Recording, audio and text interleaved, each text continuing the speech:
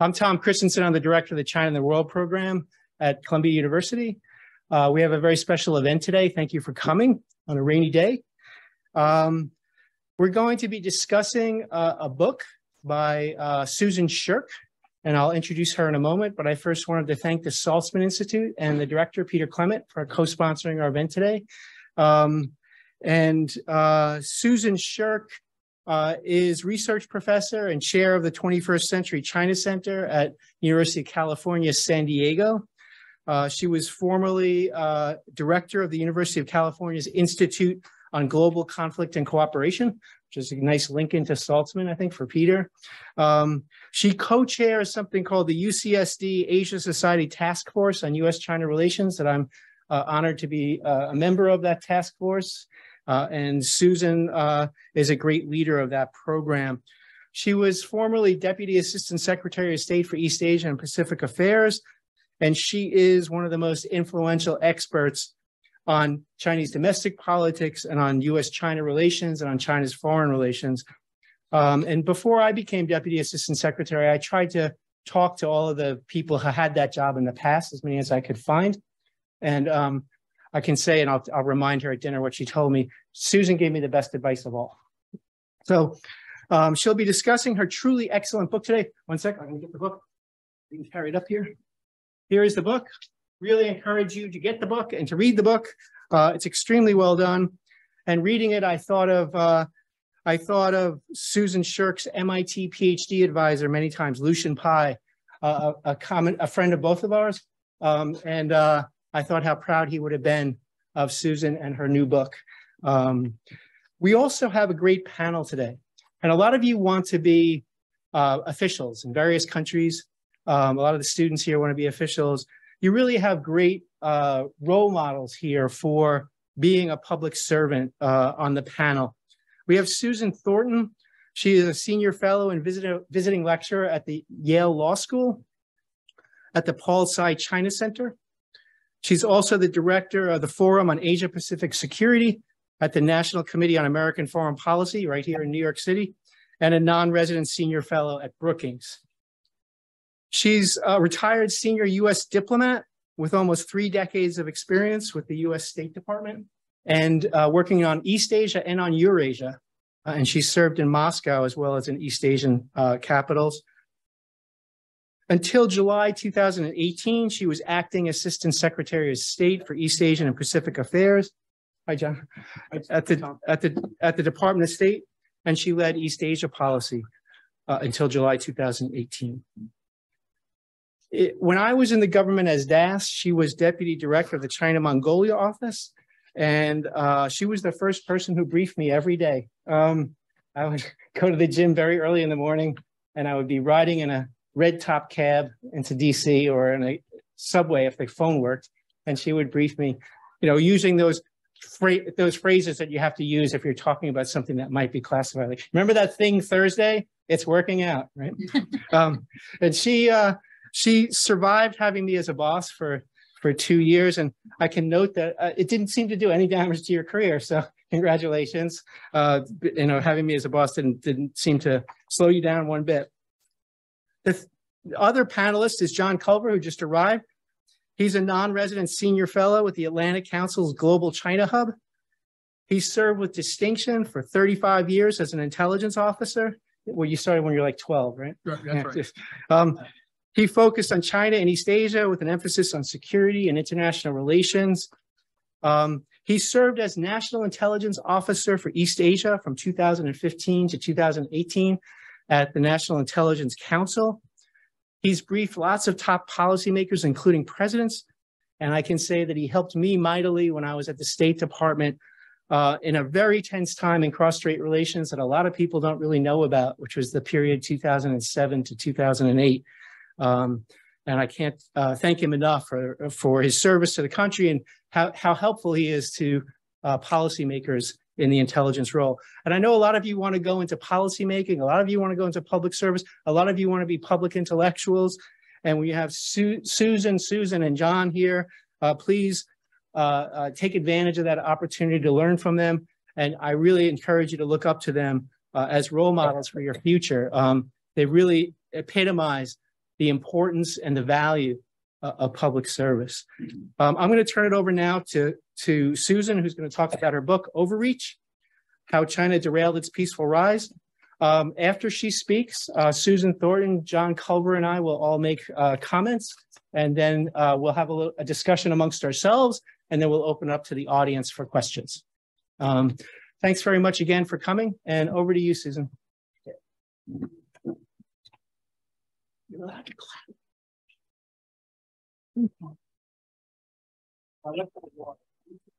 Can I get you water?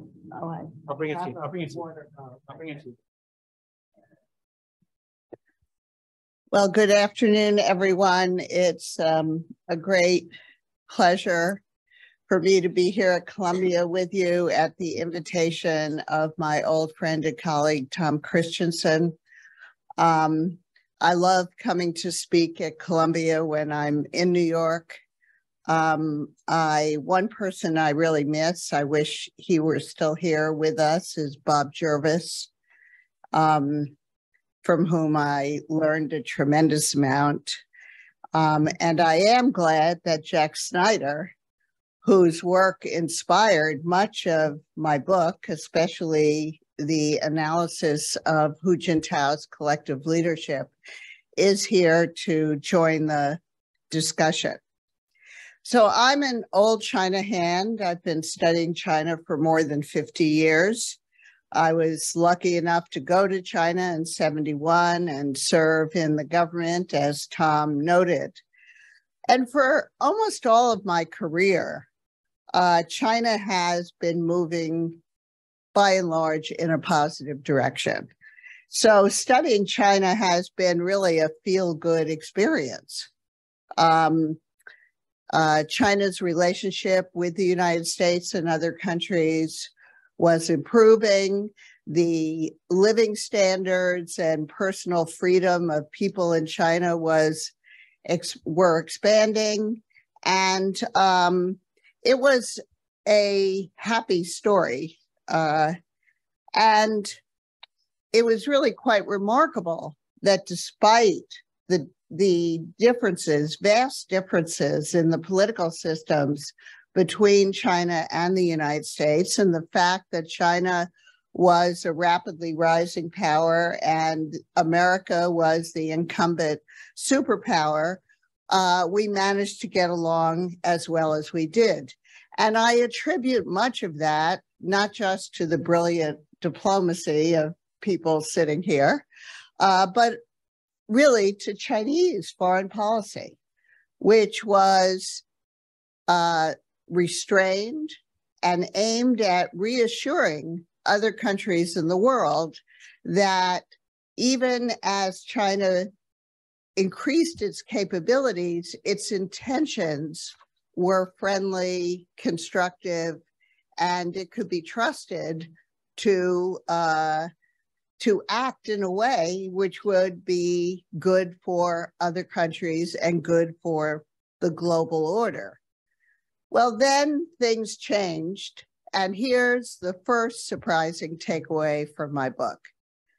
Overreach begins not with Xi Jinping, but it begins under Hu Jintao's collective leadership uh, in the mid 2000s. And it begins even before the global financial crisis, which many people would say was the turning point because it changed perceptions in China about American uh, as a declining power and China as being a more successful power. Um, so, what we saw in the mid 2000s, really roughly between the first and second term of Hu Jintao, is that Chinese uh, maritime agencies started enforcing the claims over the South China Sea and the uh, rocks and small islands in the South China Sea over the uh, other claimants who also, according to international law, have rights over the waters and the uh, rocks and small islands in the coastal waters of the South China Sea.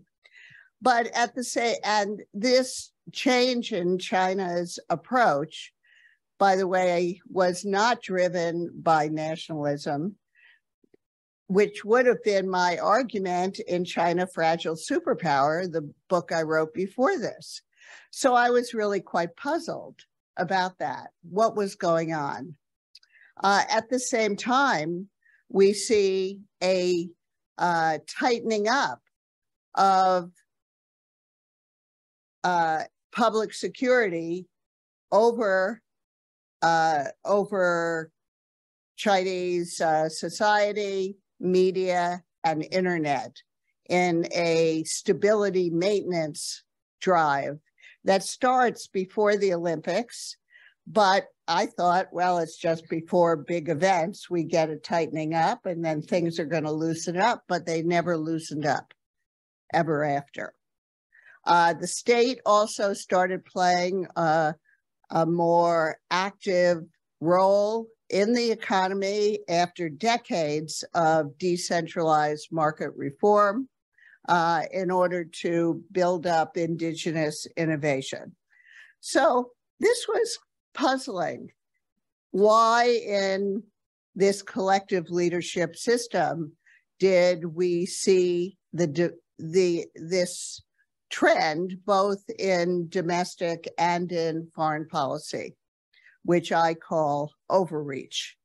And uh, reading Jack Snyder's classic book, Myths of Empire, helped me figure that out. So I I only have 15 minutes, so I can't really cover my analysis of the Hu era, although I assume that since the dramatic events that we all saw on video, um, now more people are actually interested in Hu Jintao again. So uh, I'm very happy to talk about my story, which is really sort of Jack Snyder's story about why overreach began under collective leadership. But I'm going to shift to talk about Xi Jinping's regime, which is very different form of party rule than Xi Jinping's, I mean, then Hu Jintao's.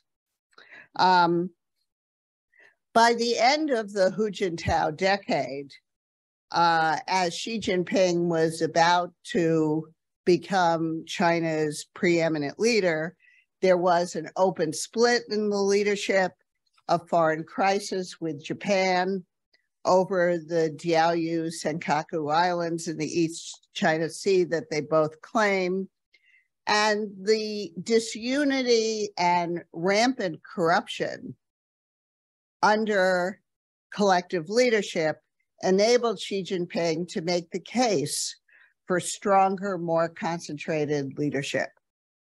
Uh, but the party elite, in choosing Xi Jinping, certainly got a leader, uh, very different kind of leader than what they expected. They never expected a leader like Xi Jinping who would consolidate power and model himself in many ways on Mao Zedong, the way Xi Jinping has. And then under Xi Jinping's centralized personalistic leadership, uh, we see overreach intensified, both in foreign policy and domestic policy. And certainly the third term is likely to be even more so. We see at the party Congress that he has opted to surround himself with loyalist politicians instead of more politically independent, pragmatic politicians and abandon the age, retirement age norms introduced by Deng Xiaoping. And of course, even uh, a third term and the end of peaceful leadership succession at the top, according to uh, two term model, is in and of itself a form of overreach that I predict will harm China. So rather than giving you all the examples of overreach under Xi Jinping, the domestic ones, the foreign policy ones, let me just quickly lay out what I think is the dynamic in this centralized personalistic leadership that leads to overreach. It really starts with top down intense pressure on subordinates, subordinate officials. The anti corruption campaign, which is also a purge of potential rivals, or you might say actual and imaginary rivals, uh, that Xi Jinping initiated 10 years ago and continues up to the present day. Um, this, this, uh, I'm just going to call it a purge because it looks like a purge, acts like a purge. It is a purge. Um, and what's striking about it, of course, is that they've gone after uh, high level officials as well as ordinary lower level officials. Uh, according to the Central Discipline Inspection Commission's own statistics, close to 5 million people, uh, uh, officials, have been disciplined uh, over the past 10 years. And uh, it continues up to the present in a way in a really striking way because the inquisitors, the officials in the discipline inspection uh, system and the public security system, who themselves did the investigations of the first two rounds of officials, have now become the target of the purge. And this is what uh, Zbigniew Brzezinski, another great Columbia figure, um, called a permanent purge. And it looks like this has become a permanent purge. Uh, it creates tremendous top down pressure on officials, a climate of fear, and uh, they need to prove their loyalty to the leader in order to survive. And the way they prove their loyalty uh, is to figure out where he's heading, what his policy direction is, and then jump on the bandwagon behind him early so that they will be noticed as a good, loyal official. So it's important that these uh, officials are all competing with one another to move up the ladder. And so they need to find a way to demonstrate their loyalty. So, uh, what happens as a result is that when they carry out his direction, his directives, uh, they may do it in a way that is a more extreme version that Xi Jinping originally intended. So, this zealous over compliance of policy is the main uh, mechanism behind overreach in a centralized, personalistic leadership system. Moreover, the information feedback loops don't work in this kind of system because subordinates are afraid that if they tell the leader up the ladder the truth about the downsides sides of his policy, uh, he will view them as disloyal and punish them, or at a minimum, not promote them. So, you know, it's really uh, quite discouraging because when we look at the implementation of Xi Jinping's zero COVID strategy and what the local, uh, how the local officials are behaving, it looks eerily like the Great Leap Forward. Uh, now, uh, that doesn't mean that as many lives are going to be lost as a result. It won't necessarily have the same tragic consequences, but we see this overcompliance by local leaders, the lack of feedback loops, uh, information feedback loops. And um, this is definitely damaging China in the sense that it's really harming its economy and it's even damaging Xi Jinping because up until recently, the public was really behind him because they objected so much to the corruption of the earlier regime. But now it we don't know for sure. We have a survey in the field now, and we're wondering if the public is losing its confidence in the current leadership.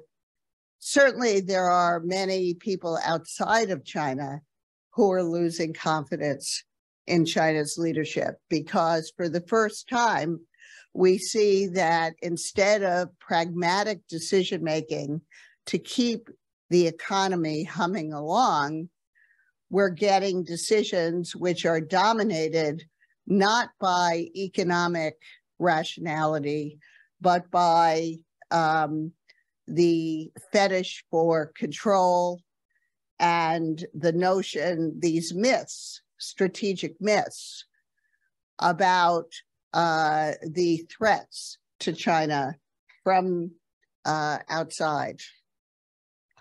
So, um, let me, so that's the mechanism that really drives overreach in the Xi Jinping system. And I think it's only going to intensify and get worse in the third term.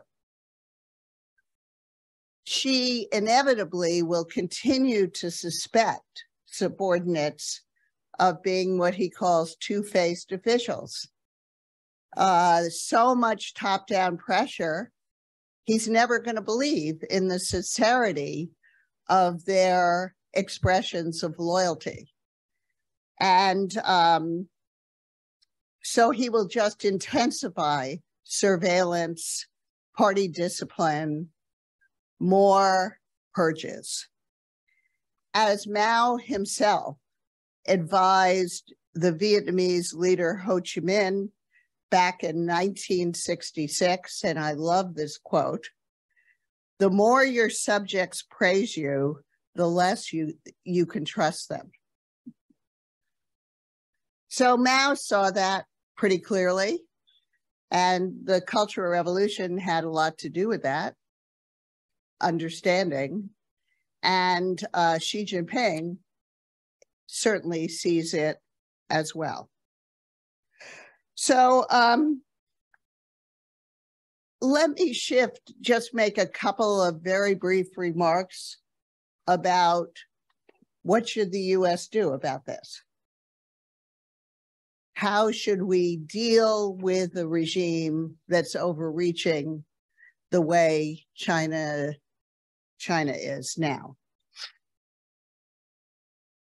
The Biden admit well, let me just skip to the bottom line, which is that US policy should avoid overreaction to China's overreach.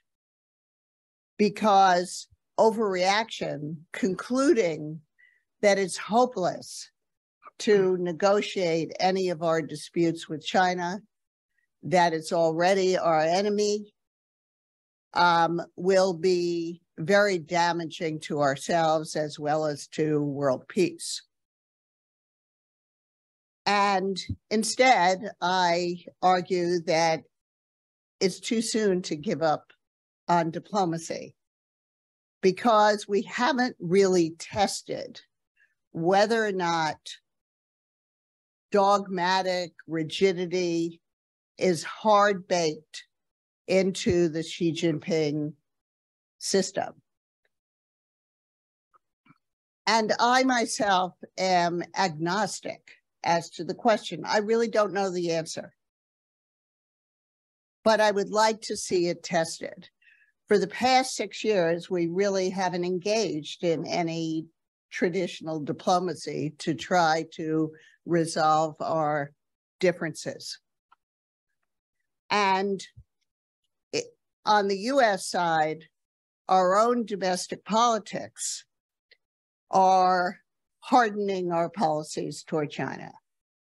The Biden administration came into office intending many people in that group whom I know well, intending to revise the Trump administration's confrontational strategy toward China. But the Biden administration now finds itself perpetuating it instead using competition with China as a foil to try to win bipartisan support for its legislative agenda of self renewal. So, having heard both Republican and Democratic administrations inveigh against uh, China, it's no surprise that American public opinion has become more negative than ever before. But let's note that this is true in other countries as well. So, you know, the view in Beijing, and certainly the view that Xi Jinping has tried to inculcate, is that the United States is engaged in a, a containment policy against China. Doesn't matter how to the Chinese government actually acts, what it does, the US is going to try to trip it up, keep it down no matter what. So, one re- that's one important reason that we have to engage in diplomacy to demonstrate that that's not true, that there is still some goodwill and some openness to re- to stabilizing relations were China Chinese government to moderate its policies. Um, and uh, the other reason why US overreaction is damaging to ourselves is that the secret of American success has always been its openness. And by imposing all these restrictions on economic and technological collaboration, we are basically becoming more like China, more nationalist, fixated on security, and politicizing our own market economy instead of becoming a better version of ourselves. Openness also ensures the flow of global talents to our world-class universities like Columbia, many of whom will stay to build companies and make new discoveries. The cloud that hangs over Chinese and Chinese American scientists and engineers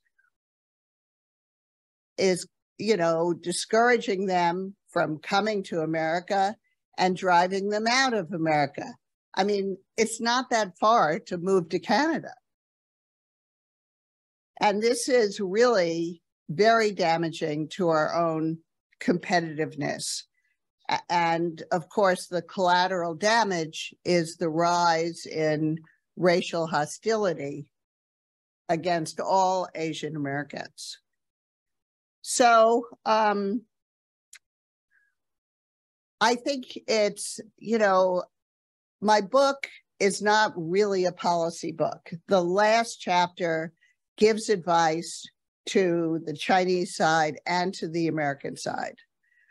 Um, and I warn against overreactions. Uh, but what I see happening in China is truly discouraging, both for the future lives of the Chinese people, as well as for China's relations with other countries. Um, I wrote my book actually with an eye to a Chinese audience.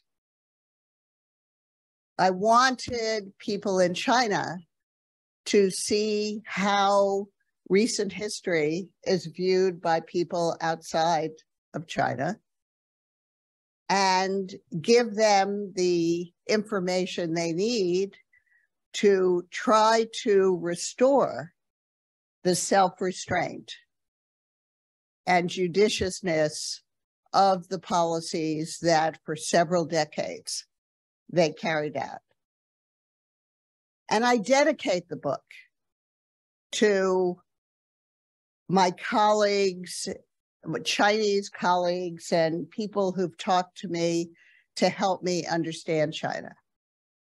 So this is not a book uh, aimed at bashing China. This is a book aimed at the hope that if we understand the domestic dynamics behind China's policies better, we may be able to act ourselves more reasonably to try to restore stable relations between our countries. Thank you.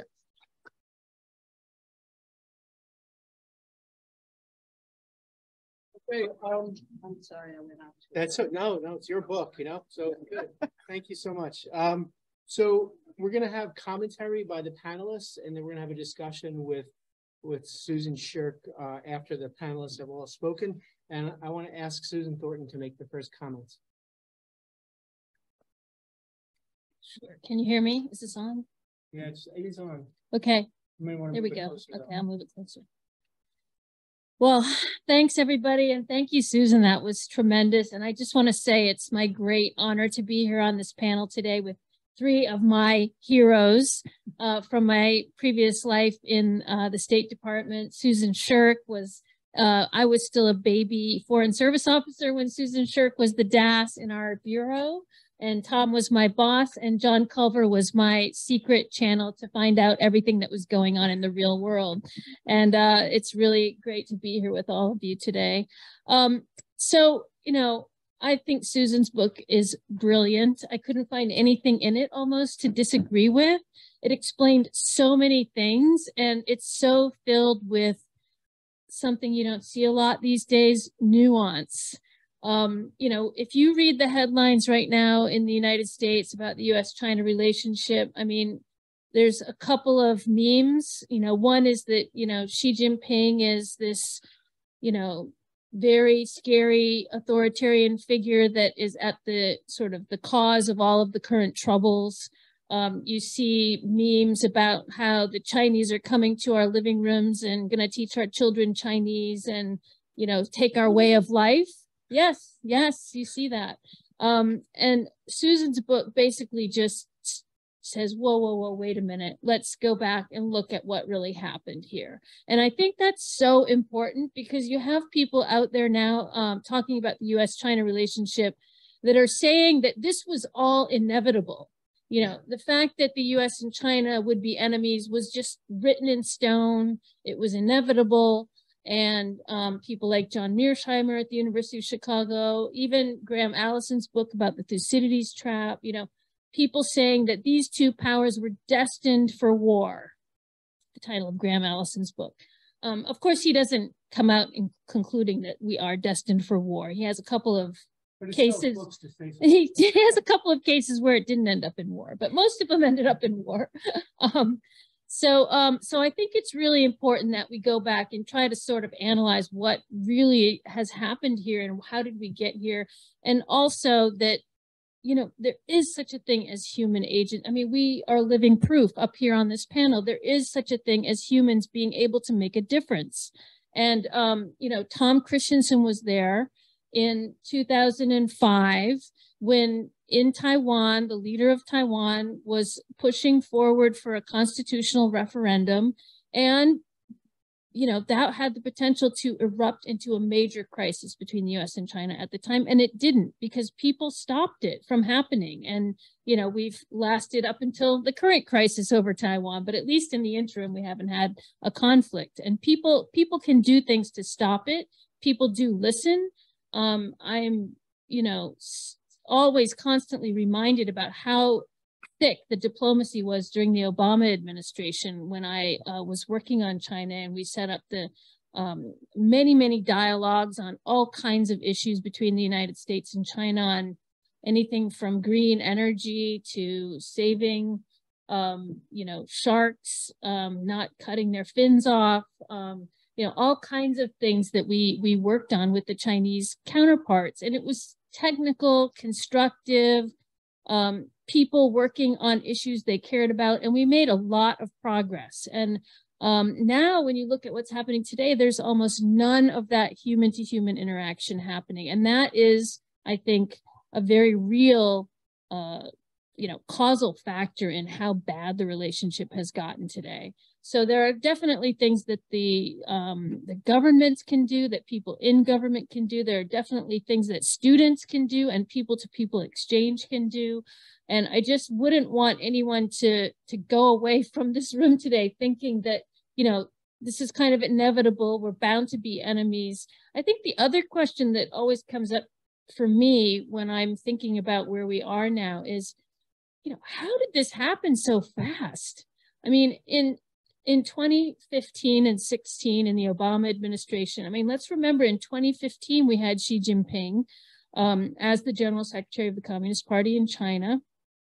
You know, we cut a deal with China at the Paris Climate Summit to get a climate accord, a global climate accord that was not easily done, but we did uh, come to an agreement on that. We had uh, Xi Jinping meeting with the leader of Taiwan in Singapore in November of 2015. I mean, we almost never talked about the issue of Taiwan. And now here we are today. It's like on the newspaper headlines every day, potential war, potential invasion, potential conflict in the Taiwan Strait. So it is important, I think, also to to look back and think, how did we get from, you know, 2015, 16, when Susan makes the point that things were already getting a little bit tough in the relationship to where we are today, almost no communication. And I lived through some of that period and I'd be happy to talk about more about it more, but I do think that um, in a democracy like the United States, it should not be the case that we can go from having a constructive, thick diplomatic relationship with another major country in the world to uh, so quickly without any debate uh, among, you know, really, um, you know, people in this country not much even really sort of focus on that this has happened to this period that we are in today where we're virtually um, declared enemies. And so I think um, that has not really sunk in for a lot of the American population that this dramatic change with almost no discussion has happened. Um, and that it's going to have a huge impact on all of us uh, as far as many, many different um, global issues, um, you know, institutions in the international system will be affected. And uh, as we see the evolution toward this kind of split world, I think it's really important that we all sort of take a look at Susan's book, see see how this has ha, has evolved, and try to make sure that we're not going down the course that she worries about, which is the overreaction course. So those are my initial reactions and thoughts. Thanks. Um, so next we're going to have uh, John Culver speak. Thanks for coming, John. It's all right. I never assumed that getting from the East Central Park here would take 40 minutes in an Uber, so I was a little late. I It's New York. City. I need to bring the mic closer. Yeah, bring the mic really close. Can you hear me now? Yes. Okay.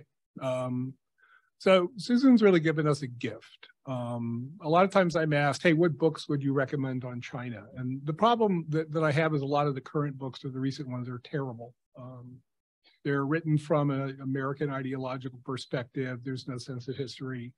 Um, what Susan's given you is, uh, you know, in a, in a, I know it may look daunting because it's, I think it lists as 400 odd pages, but half of those are notes. So in a fairly crisp 220 pages, at least on Kindle. Um, you can get almost the entire scope of the last, I would say, 25 years of U.S.-China relations, um, from the period Susan Thornton just mentioned, when um, I wouldn't quite call it a good relationship, but it was productive for both sides. Um, we could acknowledge our differences, uh, be able to manage tensions, especially in East Asia, where our security relationships and their territorial red lines tend to collide. Um, and then on global goods. Um, and then she also gives you that wonderful insight into exactly, you know, how this unfolded from the Deng Xiaoping era, the Hu Jintao era, and then into the, you know, as she noted, Chinese friends of hers called the Hu Jintao era, the lost decade. And she gives you a lot of understanding about why um, you had that view within China and then the external view of that as China got stronger, maybe confident, that it became more aggressive and more assertive. And it helps you not default to the Graham Allison, not to criticize him, he's a lovely guy, he's done very well with his Thucydides trap, but this kind of reductive, you know, inevitability, because then you're you're almost talking like Chinese Marx, Marxist Leninist, you know, the inevitability of this, that, or whatever, starting with China's rise. Um, I mean, the only, you know, I, I, I could find a few, few, few nits to pick, but actually all they do is kind of amplify her bigger message in the book, which uh, if I could summarize and she can correct me either in front of you or offline, it's, you know, none of this was written in stone, that it took human agency, you know, Susan just mentioned human agency in the US system. It took human agency in the Chinese system, you know, for things to work out the way that they did, that led first to the reform and opening under Deng, then the continuation and expansion of that into a real market economic system with a heavy, still heavy dose of state control. Um, and then to the current, you know, kind of hardening of the system, because they're all interlinked.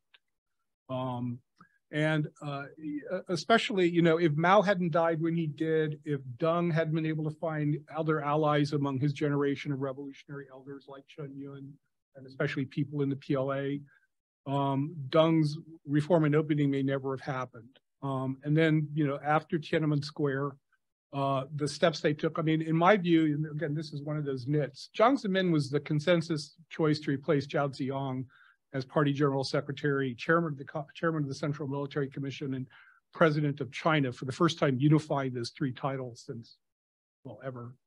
Um, it was because he was selected because he represented a threat to none of the key factions dominated by elders in 1989.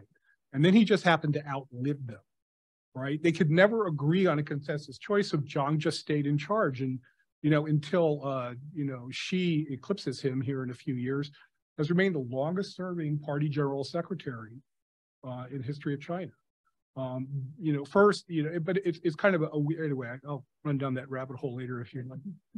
Um, similarly, you know, um, when Xi Jinping came to power, it was because of the perceived weakness inside China of, of um, Hu Jintao. And that was a hard view for a lot of Americans to understand because Hu seemed like a, a very, really normal and actually productive technocratic Chinese leader. You know, it's interesting when I interviewed George Bush and asked him who his favorite Chinese leader was, he said Hu Jintao, which surprised me because nobody likes Hu Jintao. He's not very charismatic. He said, no, Hu Jintao is cool. Uh, he he's a, a, hydroelectrical engineer, and he loved to Bush loved to take him to look at dams in the United States. And he found Hu Jintao actually in private, and Bush took a lot of effort to get Hu Jintao in private with just a translator and really delved deeply into things. Um, but the problem Hu Jintao had, is, and, and Susan touches on this in her book, he never was really in control.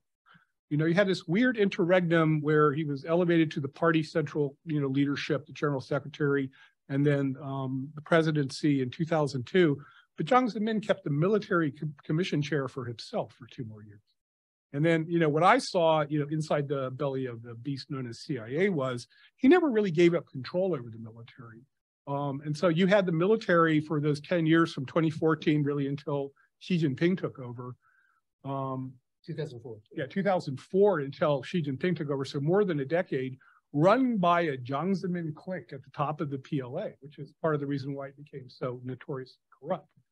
So at the time that, you know, they were they were picking the successor to Hu Jintao, Um, Xi Jinping's name elevated to the top, not because he bureaucratically knife fought his way there.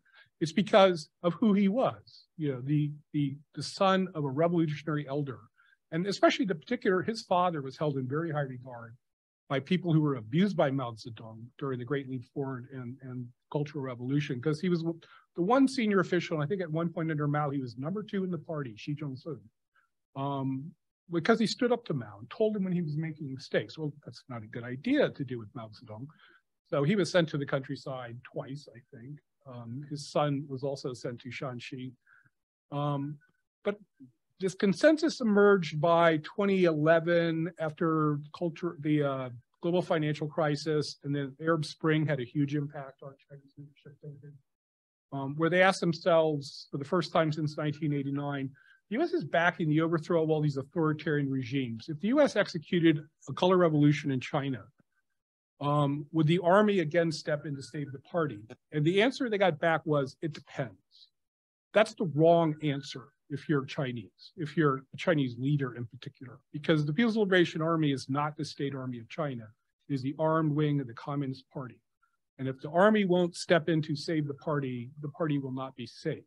So that's, I think, when the consensus congealed around a figure like Xi Jinping, rather than uh, Keqiang or somebody who kind of emerged out of the China Youth League, which Susan gets into wonderful detail on these, you know, different factions of leadership that were kind of vying throughout the over the last 20 years. Um, it's also uh, kind of symbolic that we're here today after the 20th Party Congress because the treatment of, of Hu Jintao at that final meeting uh, when he was escorted out of the hall. And uh, uh, I've heard some stories about exactly what went down there. And it wasn't just senility on Hujan. Oh, it wasn't. No. I can't tell. No, okay, so tell us what you got. Um, there's there's some interesting, you know, they, they had just like brought. That's John Coburn was young. They had just brought. I, I can't claim credit for this, but it comes from a reliable source. Uh, they had just brought foreign reporters into the hall, and the, a Spanish film crew started filming immediately. And what you see is Hu Jintao, seat, he's been seated. The people who like, he, he is, he's kind of enfeebled. So he'd been escorted to his chair, sat down. He reached over in front of Xi Jinping, opened the red folder, which has the list of the new Central Committee members and then the Politburo. And the agreement that he had been told they struck at these elder, these leadership meetings that the elders attend over the summer in Beidaihe was not the list that he saw inside the red folder. Um, and he got agitated because he was counting on people like Li Keqiang and Wang Yang to survive. Um, it may be, you know, prop, hopefully from his perspective on the Politburo Standing Committee, that seven-member ultimate uh, grouping at the top of the party, but at least in the full Politburo, and then, you know, maybe on the National People's uh, Congress, and their names were not there. And that's when, so here you had this figured out. Hu Jintao is important symbolically because he was the last leader hand selected to succeed by Deng Xiaoping. You know, Deng did not choose Jiang Zemin, uh, but he did choose Hu Jintao. Um, and uh, Hu Jintao, you know, really got his position and succeeded Jiang, you know, fully by 2004 because even though Jiang didn't want it to happen, he could not take away that the selection of Deng Xiaoping. Um, and when they lead him out of the hall, it's really closing a curtain on the Deng Xiaoping era and the last legacy of Deng's stamp inside the central leadership apparatus of the Communist Party. Um, and then, you know, um, Xi Jinping's speech, and especially the full text, which I don't read Chinese, so I, you know, rely on good translations. It, it's very dark. You know, uh, they, they stopped using a lot of phrases that have, for the last 25, 30 years, have been core and Susan gets into this, you know, the decision to adopt um, the idea of reform as a benchmark of Communist Party policy, you know, and the idea that China was was experiencing a period of strategic opportunity, which mean meant that the external environment would remain relatively stable. China didn't have to worry about fighting a major war. And even Deng Xiaoping's dictum, which enabled reform and opening, I think he uttered this in 1978 or 1982, that peace and development were the dominant trends of our time. Um, Xi Jinping is now either watering those down to raise the specter of more fundamental struggle for the Communist Party, so they can't assume this benign environment. And, and really, then at the core Susan's book is, well, of course they can't. They're they're they've been overreaching. You know, it's there, there was a, there was this real sense of hubris that would have made the ancient Greeks blush when China, after the global financial crisis, was announcing its plan called, you know, first the semiconductor industry strategy, which was going to toss 160 billion dollars to become completely self-reliant in semiconductors, which would be the only country on the face of the earth to do that. So that was an immediate challenge then to our semiconductor industry and those of Korea and Taiwan and Japan a little bit and, and Europe. Uh, and then this Made in China 2025, you know, another mag- over overwhelming act of hubris that they were going to achieve a leadership role in what they viewed as the technologies that will dominate the future. And not just semiconductors, but artificial intelligence, quantum computing, computing, biotechnology, just a whole wealth. Now, paradoxically, now when you look at the Trump and Biden administration, American Revitalization Plan, they're the same technologies. So the Chinese were right, but it was bad form to brag about it and claim you're going to dominate them by 2020. So, you know, I really recommend this book. It, has got just a wealth of history in a very readable, condensed form. And then, uh, you know, and not to detract too, though, from her personal experience. You know, the, the first time I met you in person, I think you were at State Department. I came to brief you. And it was always a little daunting to brief the East Asia and then China Mongolia desk at State because unlike some of the senior officials you would be, they actually knew what they were talking about. So you wouldn't be able to just dazzle them with backstory and uh, and then their questions tended to be simplistic. Susan always asked very tough questions, things that she knew CIA probably didn't know and had to go find out. Um, but I also saw a clip of you on the Dick Cavett show Oh, yeah. I think, in 1971 when you had just returned from your first trip to China. So I haven't been stalking you, but I've been sort of admiring your career uh, since since before you came into government.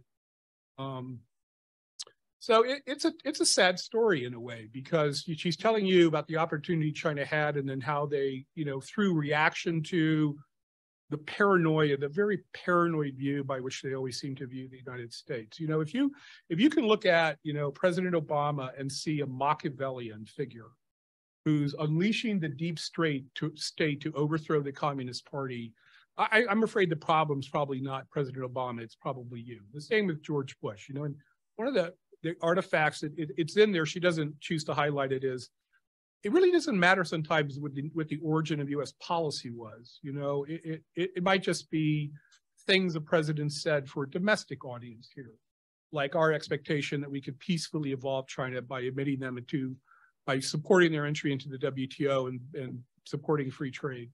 Um, but we are, you know, in their view, we are always out to get them. She notes that Chinese leaders then and to this very day believe that we deliberately bombed their embassy in Belgrade, Yugoslavia in 1999 even though we admitted it was an accident and paid reparations for the three lives lost in the Chinese embassy, they believe it was uh, an attempt by the U.S. to destroy sensitive military equipment that the Yugoslavs were storing in the. I mean, none of it makes sense, but their willingness to believe that, their willingness to believe that we are behind the Occupy movement in Hong Kong, willingness to believe that the U.S. supports um, Xinjiang terrorism, justifying their, you know, incarceration for of millions of people it's it's the, one of the saddest parts of this, and it, it does lead to that problem Susan Thornton mentioned, where um, there's there's kind of a sense in the U.S. in both the last current and last administration of there's no point in talking to them. They're going to believe the worst anyway. And I would just kind of reinforce what both Susans have said, which is don't give up on you. You may want to give up on Xi Jinping, although you can't afford to, because if nothing else, we need to be heard we don't go there to make friends with him when we meet with them diplomatically. We go there for a clear articulation directly from us and not mediated by the press of our concerns and our views. Um, they can't be filtered out. Um, but also don't give up on the Chinese people. You know, uh, 400 million Chinese entered the middle class over the last 25 years.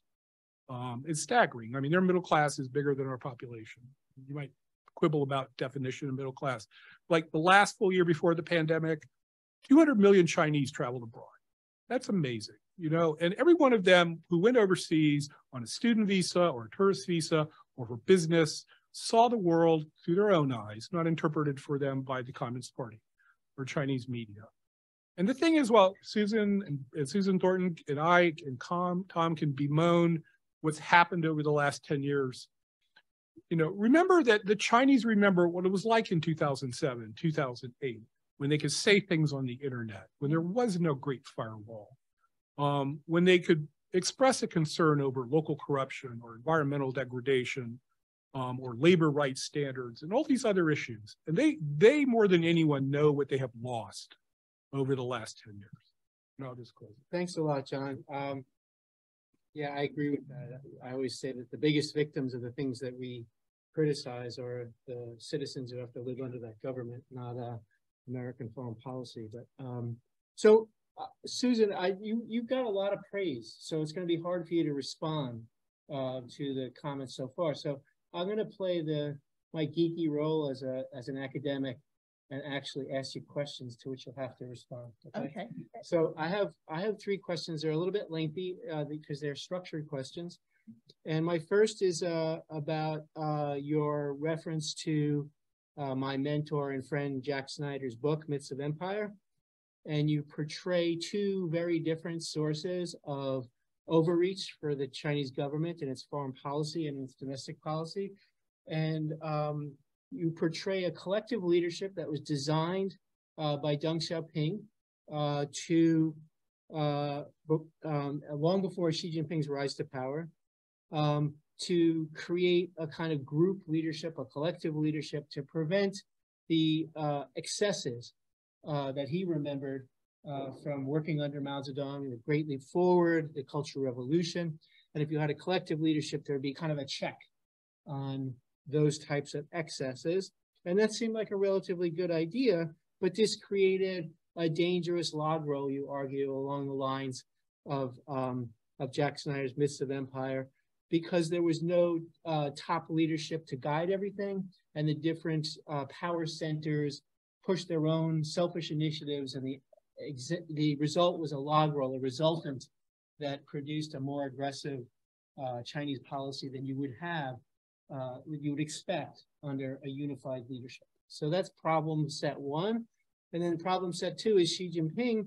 Um, he's a very powerful leader. He doesn't have those checks on power.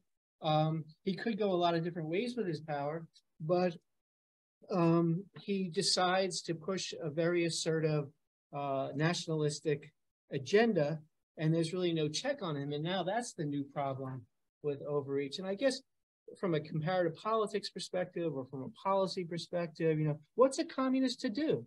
Um, um, you know, is it is it just is it a problem with a one-party state that you're never going to have the right balance between too much power in the hands of a single individual or too little power in the hands of a single individual? And do you need all those civil society networks and free media outlets and all the other things that Jack Snyder loves so much?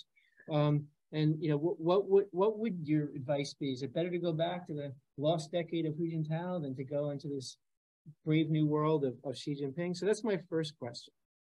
My second question is, since President Xi is going to be around for a long time, and John alluded to this, as long as his health remains strong, we're stuck with him. So what are we going to do? Um, uh, you know, Susan, remember we crafted a phrase in the in the second term of the Bush administration that the United States strategy was to shape the choices of a rising China.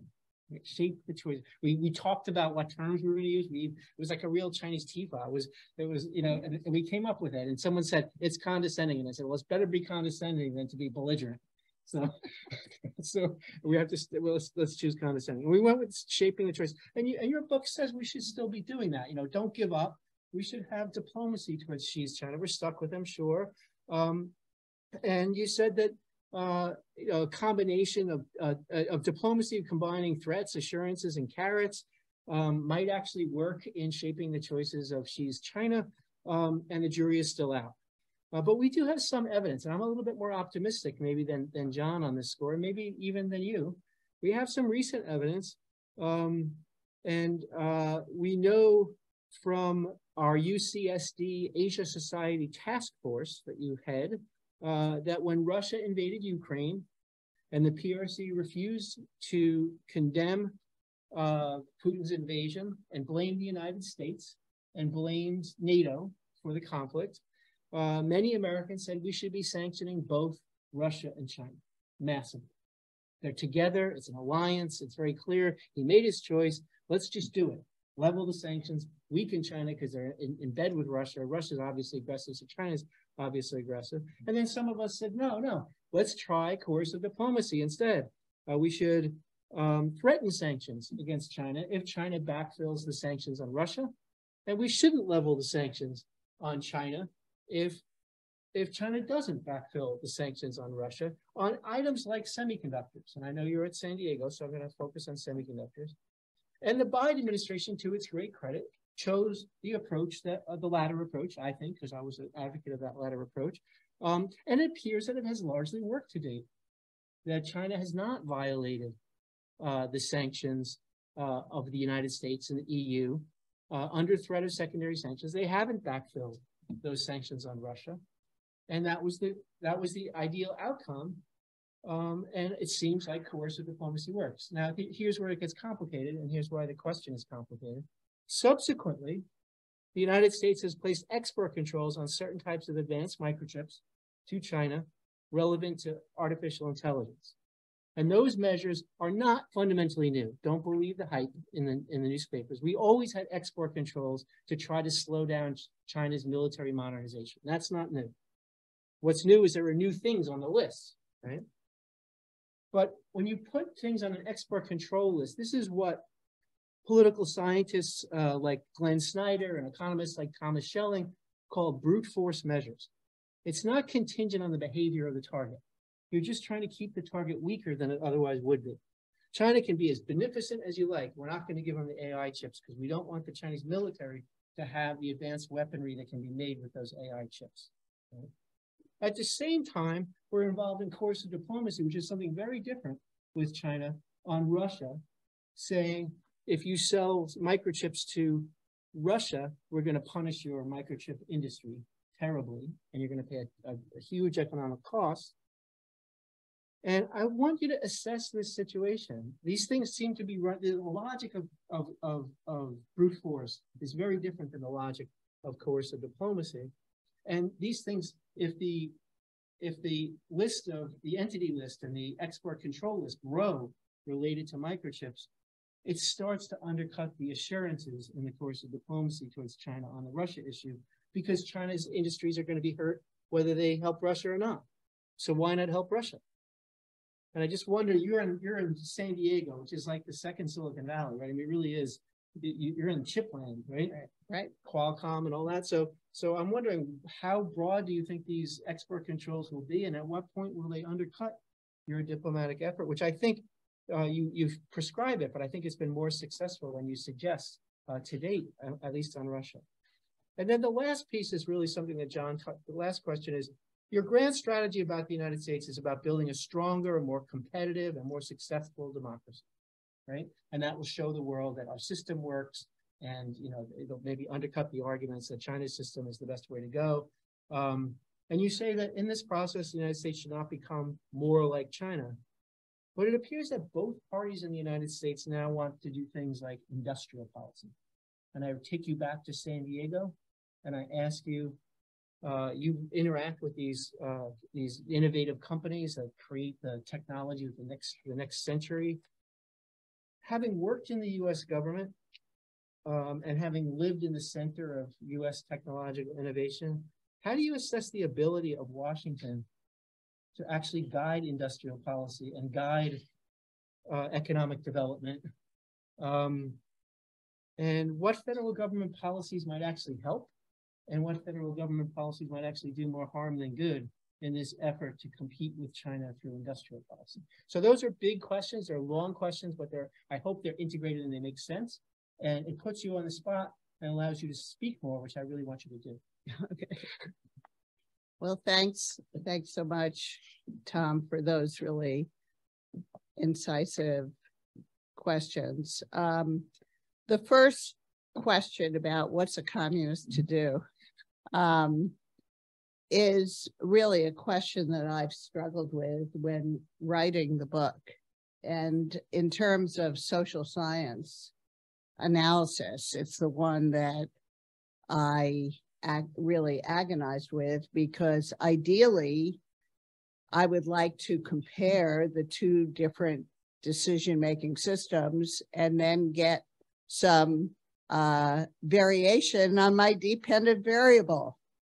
But instead, I get a kind of convergence on my dependent variable that the behavior is, I mean, both systems are producing overreach by two very different dynamics. Now, the more concentrated personalistic dictatorial system is uh, you know uh, is overreaching more we get a tougher internal surveillance police state uh, and it's not just about the technologies of surveillance it's also about mutual watching which is really um, passed down from the Mao era or even before.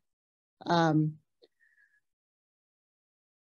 and in terms of uh, foreign policy, it's also more aggressive than it was before um, under collective leadership. So, I mean, if I if I'm a communist and I have to choose, I'll choose collective leadership.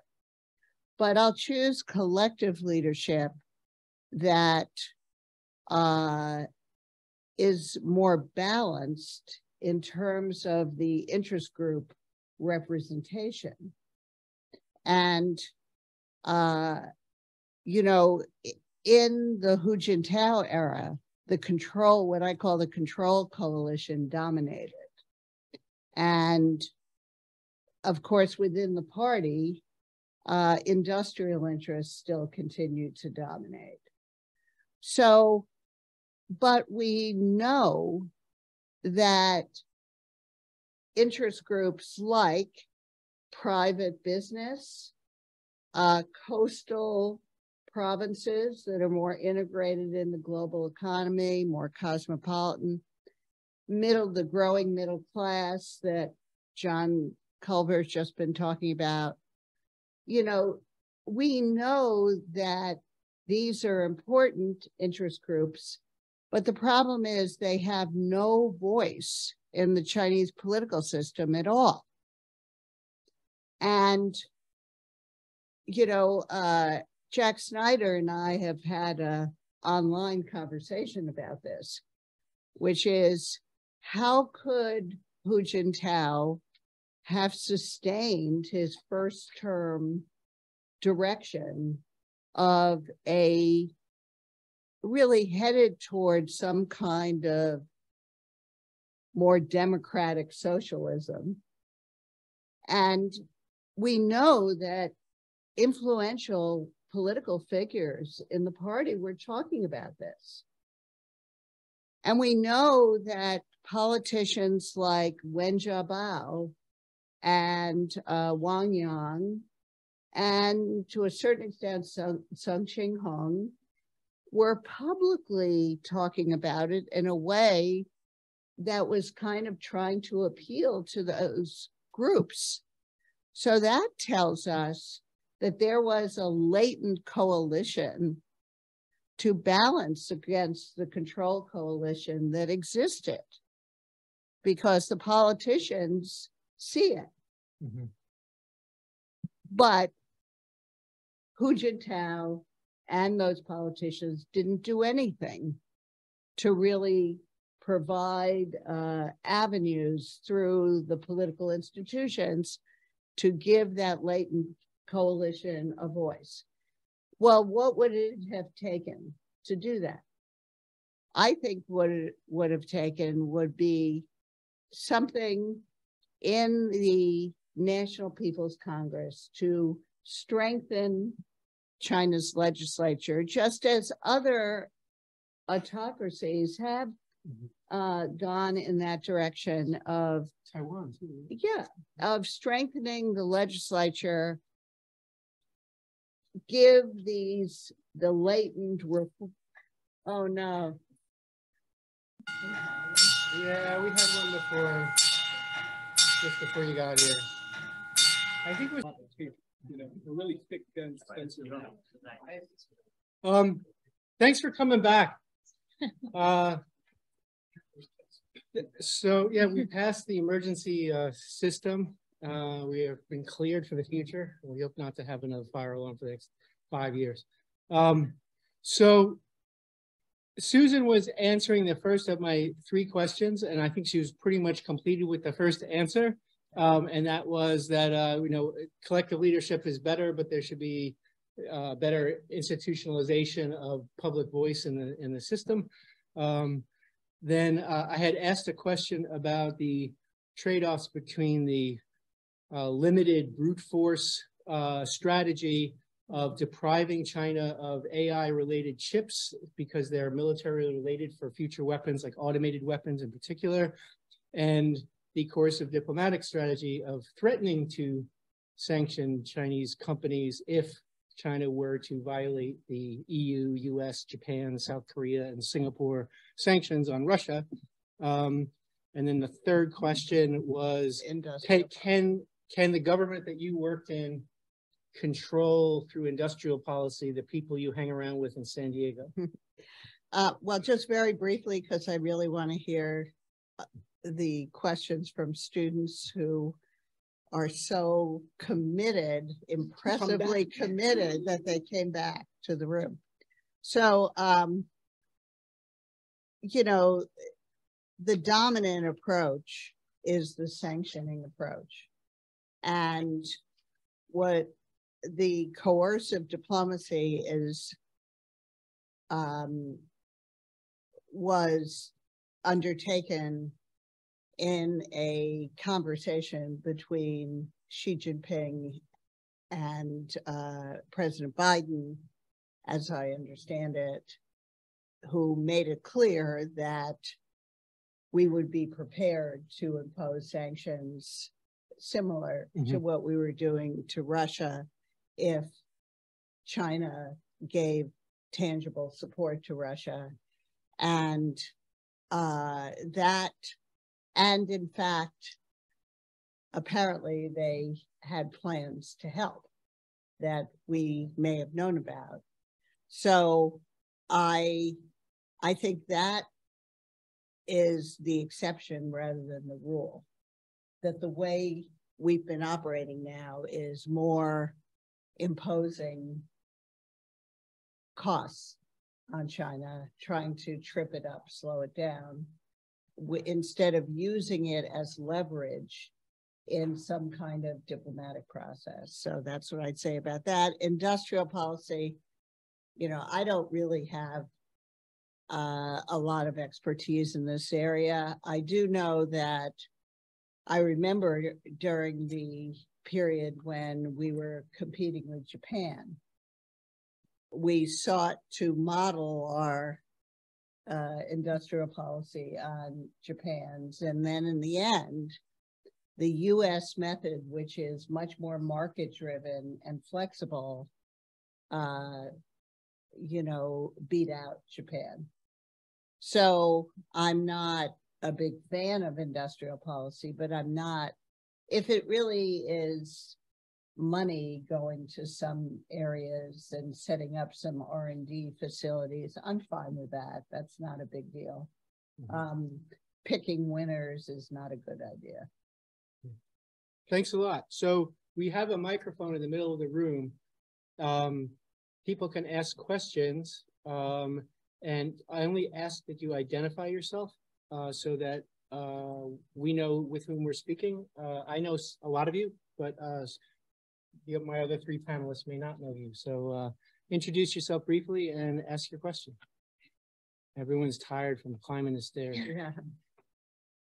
Go ahead, come to the microphone. Yeah.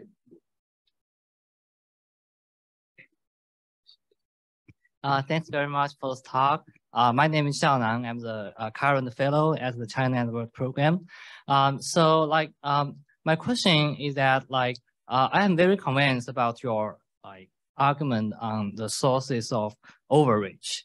Um, and my question is, um, can you talk more about, do you think whether there are still sources within or outside of Chinese party state can slow the overreach? Like, because you think the overreach begins since the uh, Hu's era. But before that, like China acting a way of cons constraint. Um, do you think those sources still exist even today?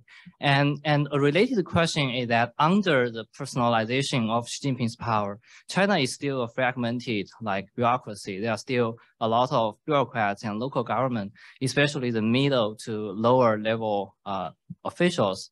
And facing a top-down pressure like one reaction is to jump on the bandwagon. Like another reaction, and we have seen, especially after the anti-corruption campaign, is that the middle and lower um, level officials, they could be risk averse and not doing anything. So, so do you think there are still any sources like in this middle or lower level bureaucracy that they can slow down like the overreach? Thanks. Uh, great, great questions. Um, I I do think that uh, sort of passive resistance occurs as well as overreach in overcompliance. I think they both occur, and it really depends a lot on how high a priority the policy is and whether or not the agents, the in this principal agent relationship feel that they can get away with passive resistance. But there's been a lot said from the central government, including by Xi Jinping himself, about implementation problems. So I think the passive resistance, do as little as possible, is certainly still, you know, that's kind of the classic mode in China because people don't have a way of really articulating their interests more overtly. I mean, I remember.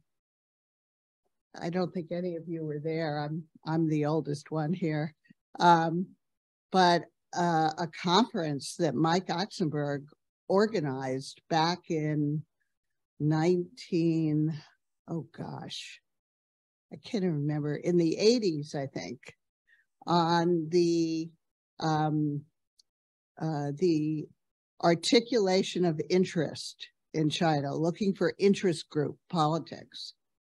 And the main conclusion is that this sort of slowing down, easy rider, not uh, like free rider uh, pattern was the most prevalent. Your first question was can we from outside China? Well, that I don't know. I really don't know.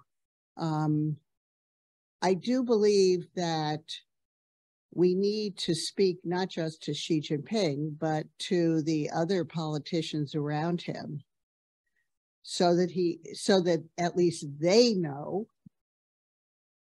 that if there was some moderation of Chinese policies, there was there would be an opening to stabilize relations and that would be good for China. At one point I say, you know, I think a stable relationship with the United States should be a core interest for China. You know, they talk about core interests, which are mostly about sovereignty issues, but then now it's sort of bled into COVID uh, policy, well, I think essential to China's own national security as well as its development is a stable relationship with the United States. So I'd like to find ways of articulating that to the people surrounding Xi Jinping, even if they, uh, because otherwise his strategic myth about how we're determined just to slow them down uh, will, you know, that'll be truth to them. And I have to say, watching recent actions by US policymakers, you know, it increasingly looks like an out and out containment policy. Todd. Hello, um, my name is Todd Etheridge. I am a graduating, uh, sorry, Hello, my name is Todd Etheridge. I'm a Master's of International Affairs student here at SIPA who will be graduating this fall. And after that, I'll be working in the Foreign Service as a public affairs officer, Great. hopefully in the EAP region. And um, my question today is regarding engagement with China. Um, and the current the stance that both the Biden and the Trump administration has taken is almost placing them as their enemy. Um, you know, traditionally there is often a factitious relationship between the deep state, academics, track two uh, diplomats, and then um, the electorate who makes the actual policy decisions that determine how we move forward with the country. And I'm curious to know what are you all's thoughts on because the point you're saying of us having to re-engage, like it's important to have engagement with them, even if we don't agree. I agree with that totally. But how do people who are bureaucrats or academics who have a more nuanced understanding have an influence on policymakers who seem to want to take hard lines in these hawkish positions um, in a time where it seems like we are growing more polarized as a country. I mean, I think the points are great, but how do you get that in action? Well, actually, I see a little bit more of a debate in the policy community about China policy. Some really good statements by people like Jessica Weiss's foreign affairs piece and um, and so uh, I'm hopeful that after the midterm, there could be something of an opening, but what's more likely is that Republicans will be stronger in the both houses, possibly having majorities in both houses.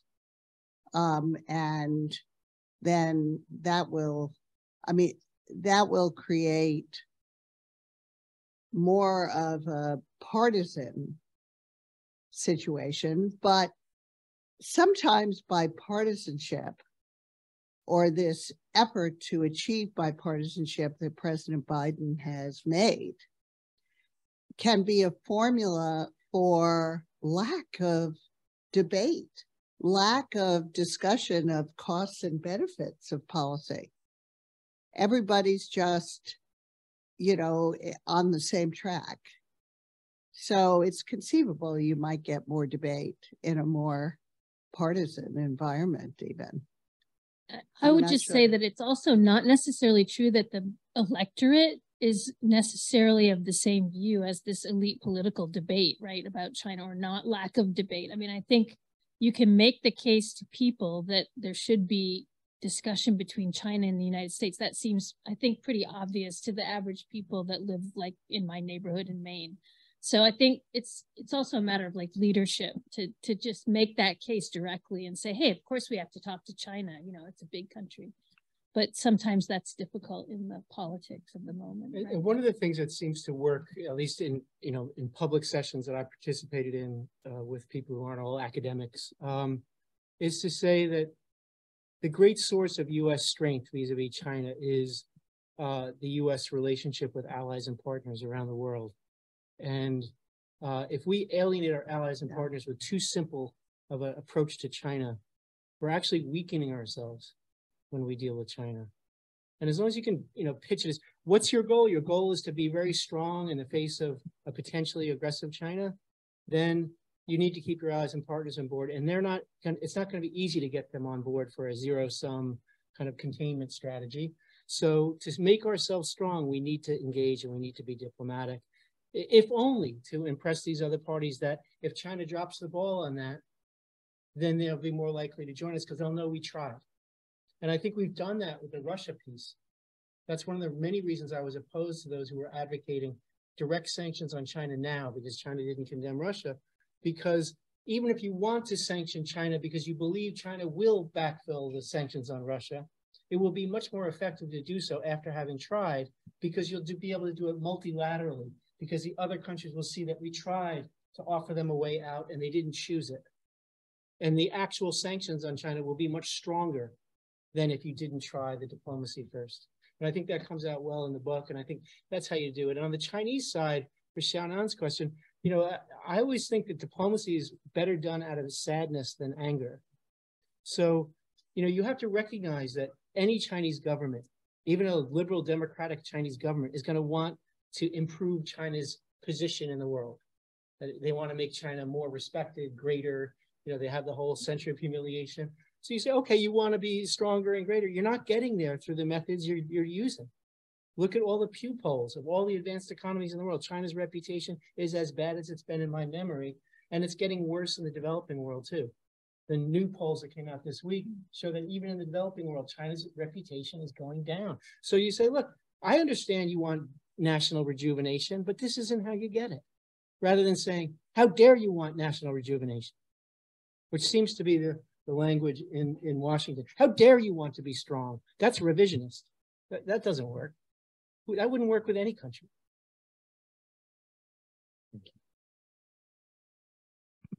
Hi, thank you so much for the talk. Um, I'm Sam Shi. I'm a senior in the dual bachelor's program between Columbia University and Sciences Po.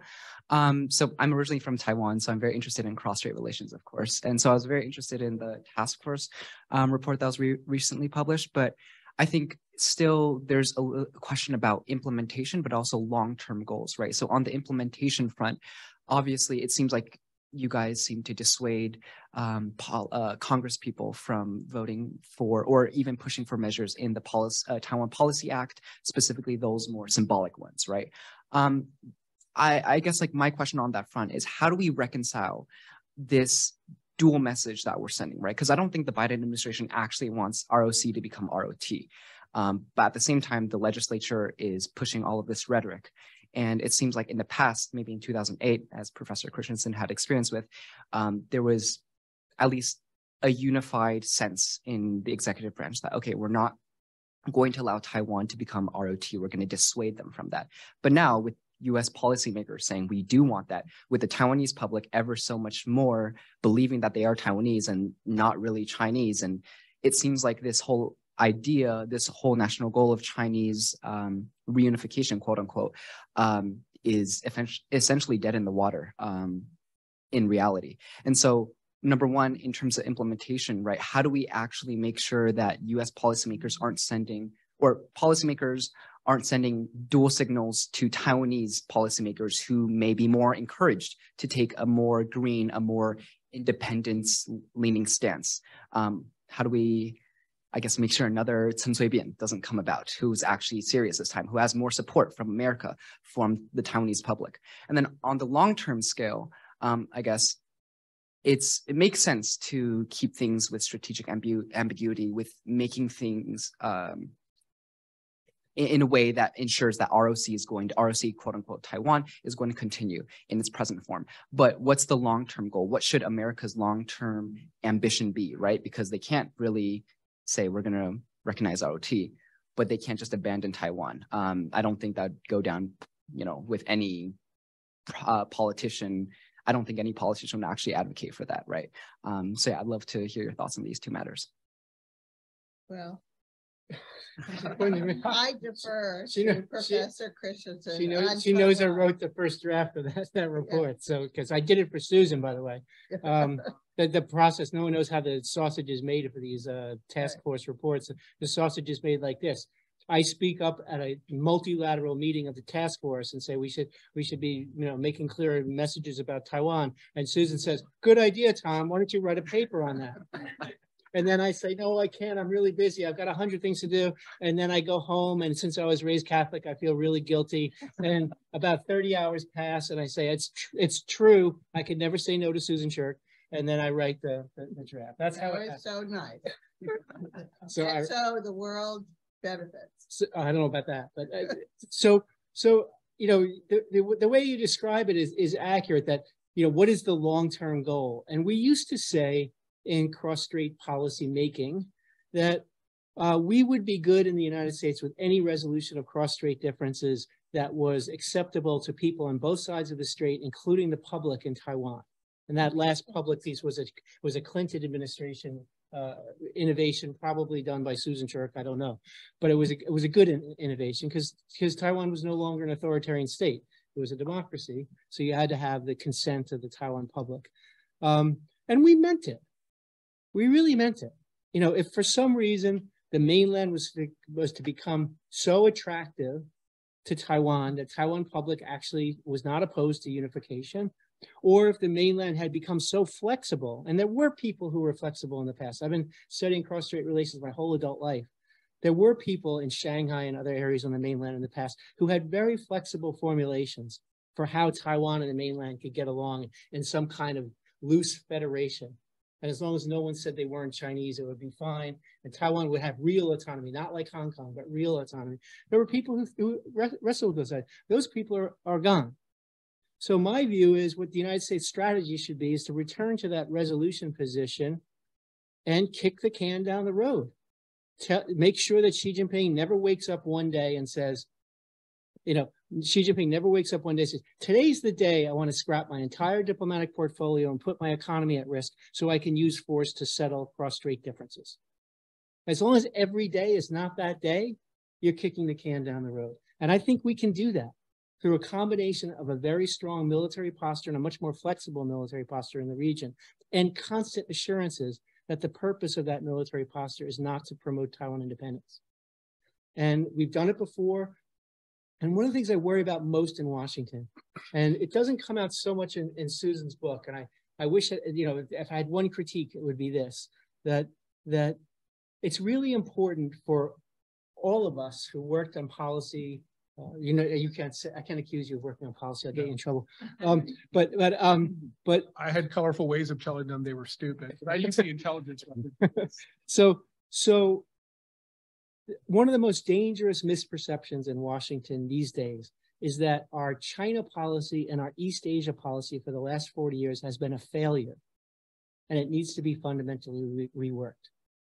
And I think by any historical standard, you know, you talk about power transitions a la Graham Allison, our East Asia policy and our China policy has been a tremendous success. There have been zero wars involving China since 1979. China has sovereignty disputes with almost all of its neighbors. And there's been zero wars. And you would think the whole world was on fire when you listen to congressional discussions of our China policy. Oh, you wimps, you screwed up everything. You destabilized everything. And it's just not true. So we need to figure out what went right. And we have to understand that it's going to be more difficult to succeed in the future because China's a lot stronger. And for all the reasons she lays out in her excellent book, a lot more difficult to deal with. But that doesn't mean what we did in the past is a failure. And it means we have to, you know, work differently and smarter to try to produce the same results. And I don't hear a lot of that in Washington. And people are very willing to say, no, no, don't, don't, don't, don't defend past policy. Let's just talk about policy now. But you have to defend past policy if you're trying to sustain past policy. And at a foundational level, I think we should sustain. We we never disregarded China's military modernization in the past. We always cared about it. What was called the pivot to Asia really started in 2006, before the surge in Iraq. We were very much tied down in Iraq, but most of the elements of that military readjustment happened then. I was in the government time, I remember it. And it wasn't some kind of jerky action. It was just a recognition China's rising. We need to have more leverage out there. And it wasn't in their face. It wasn't saying you don't get to grow, but we're going to be stronger too. And let's not fight each other because it'll be a disaster for everyone. So, anyway. There's a paradox that Susan touches on in her book. She she talks about half of it. It's when China decided that the world was out to get them. Um, and it, it started, you know, it, it's always been there. It's deeply buried, you know, Marxist Lenin, especially the Sinified Marxist Leninism of the current regime requires threats and enemies and a hegemonic adversary to oppose their rise it, it's it's not quite as hard boiled as fascism, which actually requires war, but it's getting close. Um, so right around the time that people in the U.S. were saying that we had 40 years of failed policy because China did not peacefully evolve and politically reform, despite opening, uh, you know, that inviting them into the WTO and helping integrate them into global economic discourse. Around that same time, the Chinese were concluding that we that uh, that peaceful evolution was working that they were overrun with foreign affiliated NGOs. There was too much free expression and what starts out as a online debate or blog about environmental degradation or land reform or something will turn into anti-regime measures at some point. Um, it's just, it's always struck me as very strange. That we, we were failing, but they were sure we were winning, you know, kind of argument.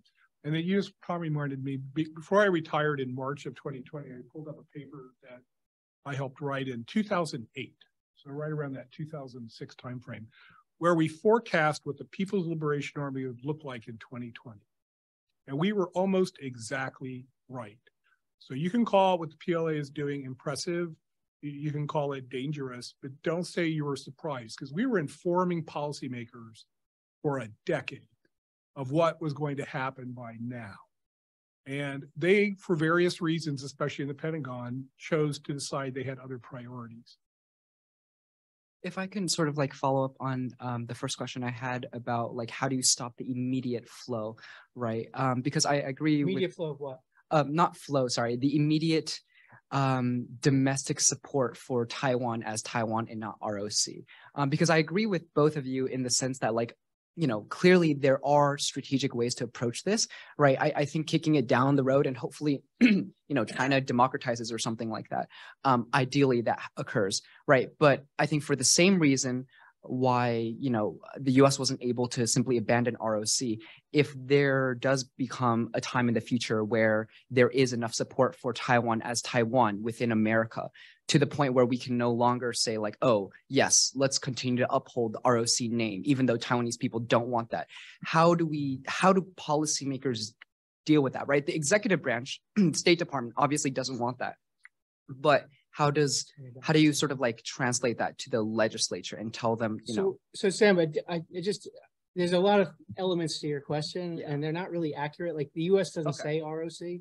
We, we, we're not allowed to say ROC in the Right, government, right. right? So, um, But that's what they want but it's not really. I don't think anybody, I, I, I don't, I think I can speak for people. I don't think anybody here thinks the United States should be micromanaging identity politics in Taiwan about how people in Taiwan feel about themselves. The problem is whether they act in ways that harm Taiwan's own security and thereby harm US national security by taking political actions that flow from them. And that's when we step in and say, no, we're against that. And the public should know that because the public knows that the United States is a big factor in Taiwan's security. And there you say it again, out of sadness rather than anger. Like, we want you to be secure. We have worked for decades to make you secure. You're making yourselves less secure by doing this. It's stupid. It won't work. It won't move the ball forward for what you're trying to pursue. I understand what you're trying to pursue. You're not going to get there this way. You're going to cause a war. And who's going to suffer most in a war? Well, you know everyone's going to suffer. The United States is going to suffer. China's going to suffer. But the one thing that's certain is Taiwan is going to suffer. And that line that has now been attributed to Shelley Rigger, I've been saying for years, which is all Americans love Taiwan. Some Americans want to love Taiwan to death. You don't just support them no matter what they do if they're doing something that's suicidal.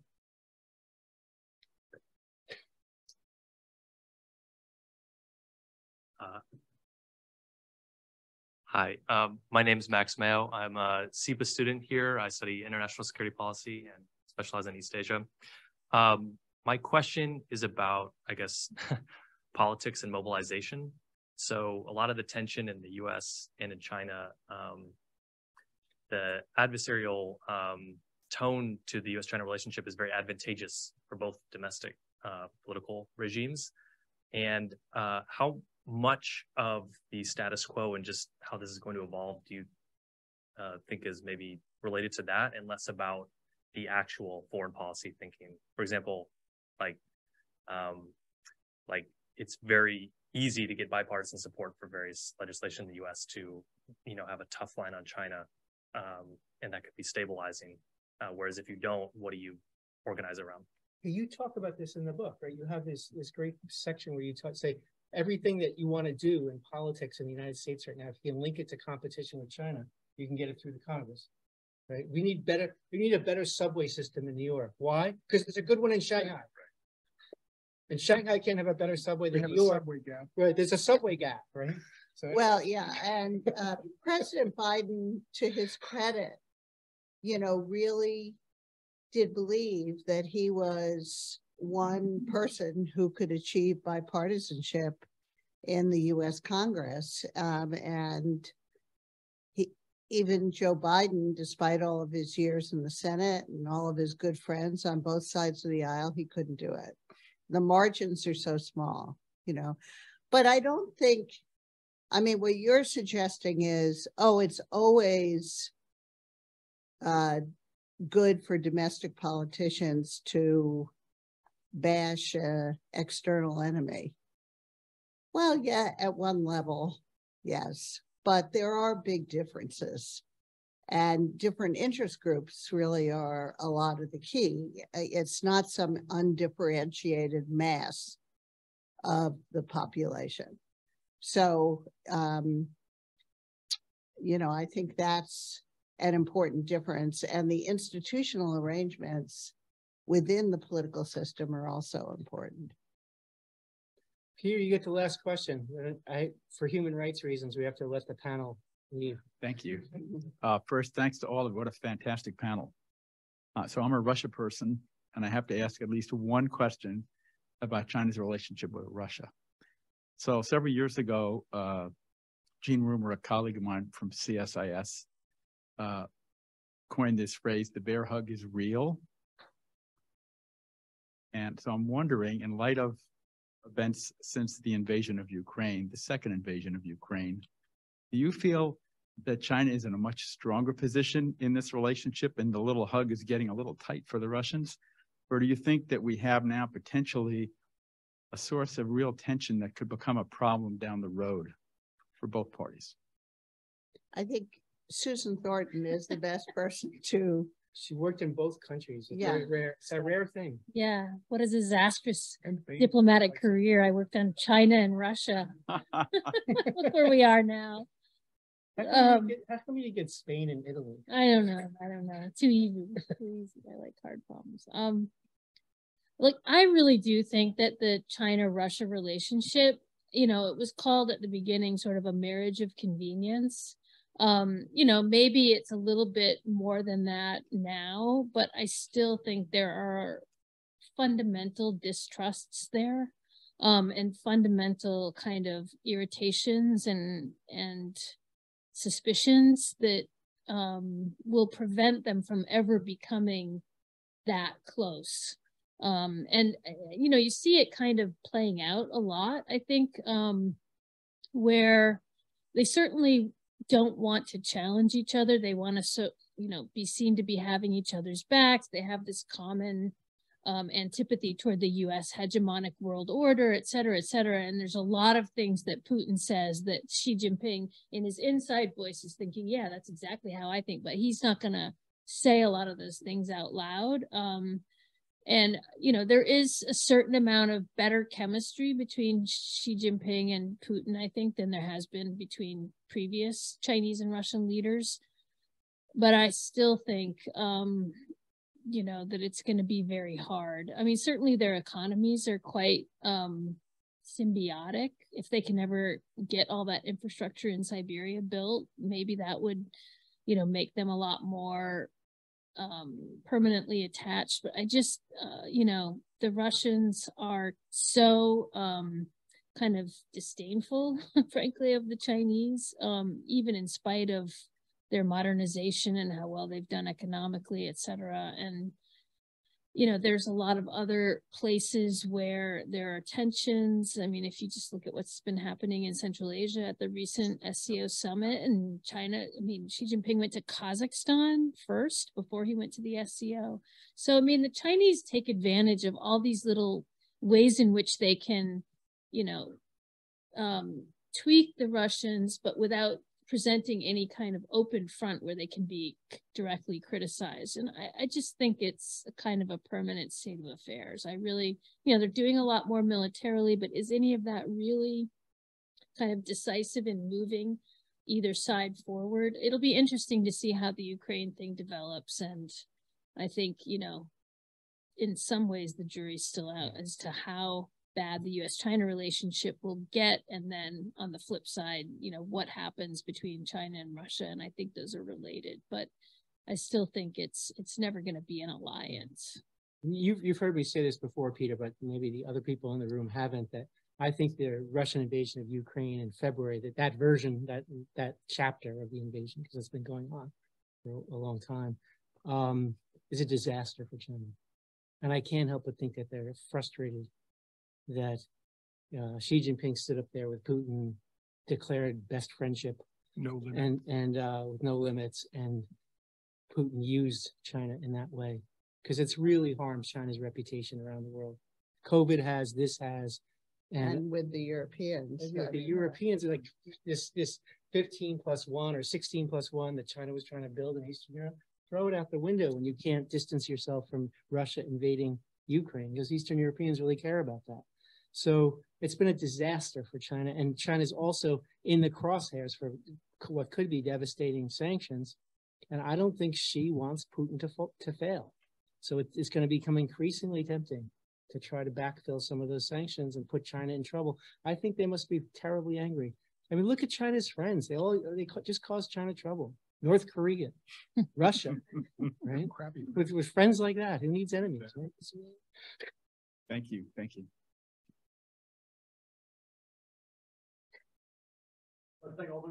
Yeah, you guys have been good marathon. Thanks, folks, and thanks for sticking it you. out and coming Yeah. back upstairs. I really Yeah. appreciate it. You It was all get a frustrating. medal. This was our big event because, you know, Susan's so special and we get this Yeah. great panel. So thanks to everybody. really. No, thanks to all of you. I'm happy to sign books if anybody wants to buy one.